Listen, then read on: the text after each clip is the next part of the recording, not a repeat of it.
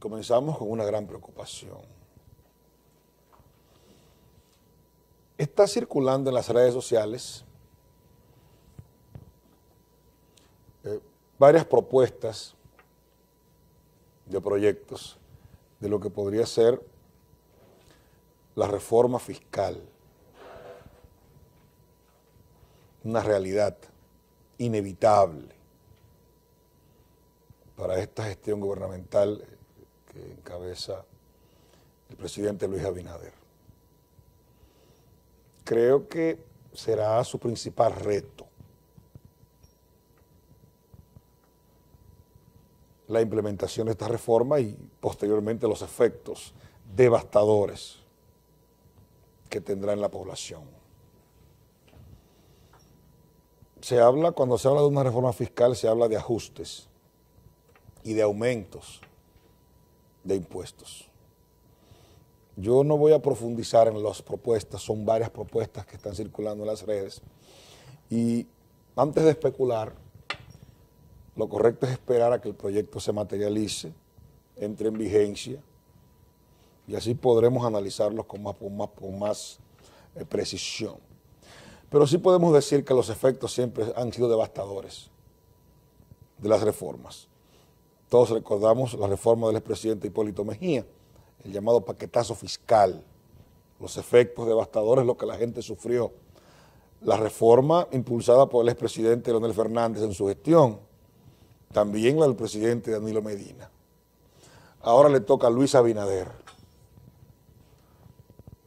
Pero la diferencia a esas otras gestiones es que Luis Abinader viene con una reforma saliendo de una pandemia. Los demás jefes de Estado, los que le antecedieron, no vivieron una pandemia. Y ustedes saben que los precios de los productos de la canasta básica familiar se han disparado. Los precios de las bebidas alcohólicas han aumentado de precio. Los precios de los materiales de construcción también han aumentado de forma muy significativa. Y esto sin la reforma haberse materializado. Eso quiere decir que inmediatamente se materialice la reforma, sea una realidad, tendremos otros aumentos, aparte de, lo que, de los aumentos que ya hemos recibido.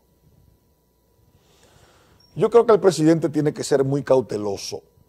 El equipo económico del presidente Luis Abinader tiene que ser muy cauteloso. Tienen que analizar a profundidad lo que van a hacer. La gente está cansada. La gente está desesperada. Hay mucha tensión. estamos todavía sintiendo los efectos de esta pandemia. El golpe ha sido muy duro para la población, para los empresarios, para el comercio informal, para todos, para nosotros los medios de comunicación. Muchos medios desaparecieron en la pandemia y otros están al borde de desaparecer si Dios no mete su mano. Entonces el gobierno tiene que tener mucha cautela. Hay que pensar bien las cosas antes de hacerlas. Tener precaución, analizar, porque los efectos pueden ser muy dolorosos. Y la gente está cansada, hay mucha tensión. Usted va a un supermercado y escucha las maldiciones en los pasillos, las incomodidades La gente siente mucha presión. Usted ve los bares, discotecas y restaurantes llenos, pero aún así la gente se queja. La gente siempre va a seguir consumiendo bebidas alcohólicas. Eso es inevitable, pero la gente se queja, se está quejando. Y